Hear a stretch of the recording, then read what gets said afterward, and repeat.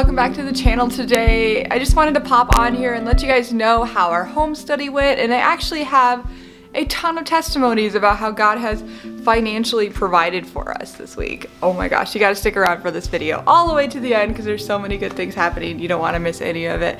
And so, hello friends, my name is Winter. If you don't know me, that's who I am. I have four kids from the foster care system that we adopted and we are working on adopting our fifth child from the foster, or from not from the foster care system, from China. I'm so used to saying foster care, but we are going through the international route and not doing the foster care route. Um, fun fact, I'm gonna do a video next about why we're choosing China over the foster care system. So you wanna hit that subscribe button so that you can see that video next. And our home study. Guys, like, I've gotten ready for home studies before and I, I just thought it was gonna be different than this, but I just I didn't know. Um, she really didn't necessarily care what our house looks like. She just checked our smoke detectors literally and she had like a 14 second tour. It was like a really quick tour so we did all the, that stuff. Um, the house needed to be cleaned anyway so it wasn't a big deal. Uh, what's surprising is there's a lot of questions about my childhood and Chad's childhood and we had to tell her that Chad's father had just passed away recently and she was like oh we gotta talk about that and we're like yeah sorry we didn't mention it we just didn't necessarily think of me mentioning it to you guys um just kind of like you know it's a life change but it's just a lot to think about and it's hard to think about every person that you need to tell this to um, but she asked us questions about our childhood and had we had to fill out a 102 questionnaire again about um, our parenting style, like how we um, receive love and give love kind of stuff. Very, very deep study of that. And then she asked questions such as um, name five attributes about my mom and dad, and then five attributes about Chad's mom and dad, and then describe a memory from your childhood that like you remembered that adjective to describe them as. So it was very deep and like I was actually extremely tired that day and so I hope that it went okay. We luckily have another meeting with her um, on the 23rd of this month. Um, we're gonna travel to go to that one so that would be good. That was the last time they'll meet in her home. Um, she did meet individually with all of our kids by herself honestly, to be completely honest, I felt a little uncomfortable with it, but um, just the whole experience of meeting alone with a social worker, I think really got one of our kids thinking about stuff from their past and had a little bit of a rougher night because of it. Um, just so is another level of that kind of stuff. I, I don't necessarily like leaving my kids in another room with adults like that. That makes me feel a little uncomfortable. But I understand they wanted to ask some questions about us as parents. Like Jenny said, they asked if we were nice or whatever, and she said we were, and of course. And we, she, the social worker told us some things to ask them too. So, and she said they all liked us. So that's good. At least we know our kids like us when we're not around. That was just weird. Honestly, just a little weird, but it was good. And so we'll have another visit with them, and then the whole home study process will be complete after that visit. So we are actually in this beautiful season where we're in between the dos the home study and the dossier and there's not as much work to be done. Um, we are trying to get a jump start on the dossier so we're trying to collect information as much as possible so that when that does come it will be a shorter um, duration and it won't be as difficult for us to work on. So those are some things that we're doing um, right now. That's a huge update on our China adoption. Okay, I have to tell you these testimonies about how God has like been providing through it for us through our friends, how our friends have blessed us, however you want to say it. I feel like it's provision from the Lord, but um, people have been loving us generously. That's another way you can say it. Um, our agency, they are super awesome and they've been super helpful. They actually signed us up for a grant called Open Heart Grant um, and we got it. We got it on Tuesday and we got a $1,000 grant. And I think I told you guys about that last time in our home study prep video. I told you guys about that grant and I, I got that on Tuesday and that was super cool. Like super, super awesome. We were so excited about that. Um, and then I had a small speaking engagement this week about foster care, recruiting foster parents at a church, and they gave us a $50 check. It doesn't seem as much compared to the thousand, but seriously, if you guys have been through this adoption process before, you know that it can be very expensive. Um, very expensive. Um, but it's it's fine. It's like totally worth it though. And then the then on Friday we got a check in the mail from someone who doesn't even have like the resources to do this in my mind. Like I don't know how they did this, but they gave us a check for a thousand dollars as well. And when I opened this card and there was a check in there, I literally cried hysterically because it was so overwhelming to me. I was like, and Chad comes down like, what's wrong? What's wrong? And I'm like, no, it's good news. he was like, oh my gosh, something bad happened. But it was so sweet and we were so excited like about that.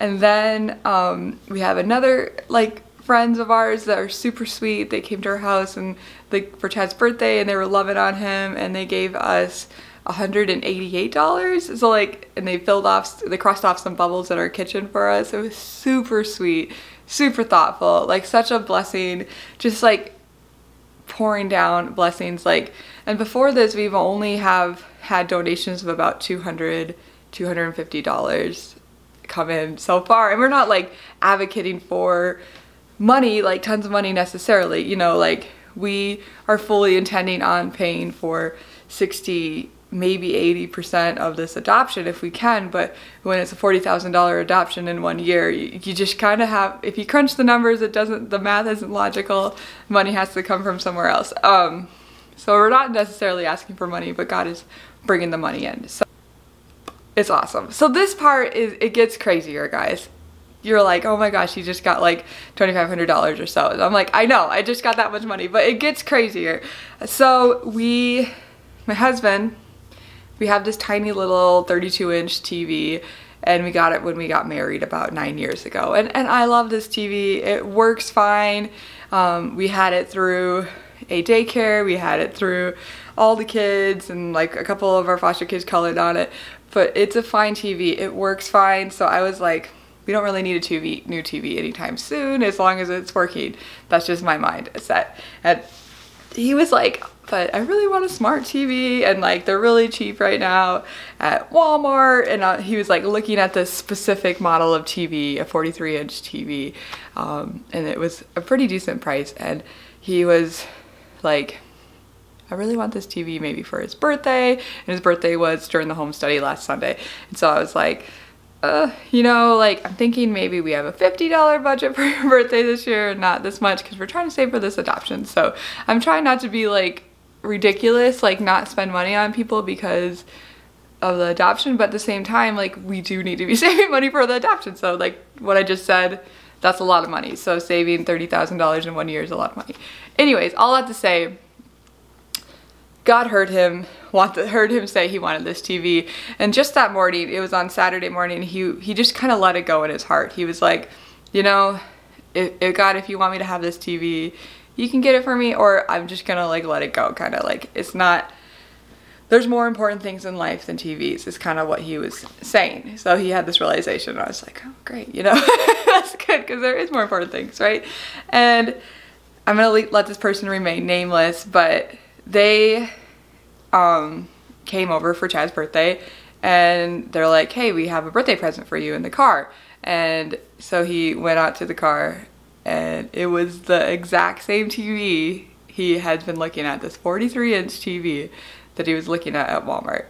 And I like freaked out. Like this person had no idea that I mean, they might have had an idea that he wanted a TV, like a little bit, because he talked about it a few times to them, but they had no idea that he wanted this specific TV in this specific size and for like because we don't need a big TV for that room because it would dwarf the room. Anyways, like it's crazy like the exact specific details and I was just so overwhelmed by like God saw our need and in my mind it was a ridiculous need like for sure a ridiculous need let's be real guys but he cared about it. He cared about our need and he, he supplied it and he just, it was extra. It wasn't even a need. He just extravagantly blessed us so much. And he blessed my husband on his birthday and he had this tremendous birthday. It was crazy. So my budget for the birthday was $50 with the cakes, guys. Like, let me tell you, I had $50 with the cakes is what we were gonna spend on this birthday. So I got the Jello cheesecakes. We made four Jello cheesecakes. I got him this really cool frisbee game and some meat, some jerky and some candy and stuff. Stuff that he'll like, you know, stuff that Chad likes. And I made these like cheesecakes and then we were just gonna have frisbee in the park and have cheesecake and kind of like a fun little thing with our friends. So I just invited some people from church and and then all of a sudden, like it just got bigger and bigger and bigger. And we invited everybody inside to our house to um, just sing happy birthday to Chad for his birthday. And um, maybe I'll put a video in here right now of it. Happy birthday to you. Happy birthday